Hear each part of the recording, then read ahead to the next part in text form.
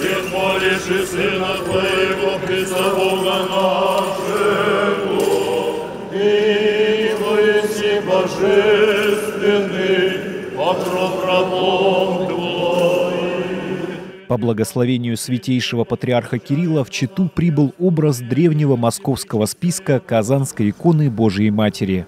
Поклониться лику Богородицы пришли сотни читинцев, а еще помолиться о победе, как и более 400 лет назад это делали Кузьма Минин и Дмитрий Пожарский накануне освобождения Москвы.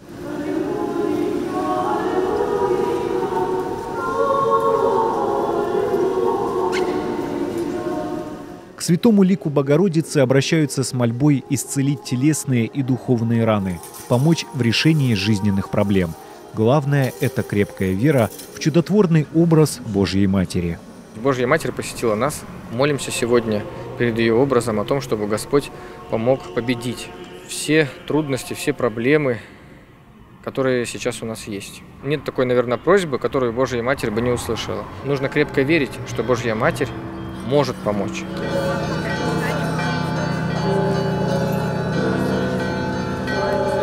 Утро воскресенья началось с масштабного крестного хода. Читинцы прошли по улицам города с молитвами о тех, кто сегодня защищает родину на рубежах Донбасса.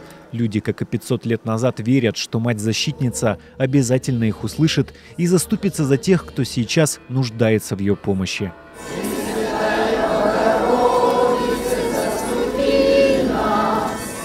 Самое главное – победы. Это очень важно. Тем более на иконе молились сам Пожарский с Мининым. Это большой праздник как для Забайкалья, так и для России в целом. Мы должны молиться о нашей победе. Победа нашей России, конечно.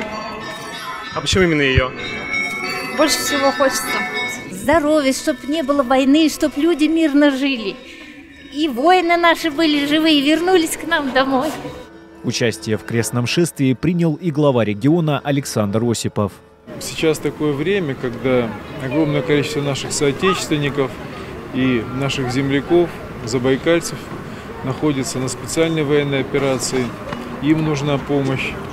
На фронте, как говорят, нет неверующих.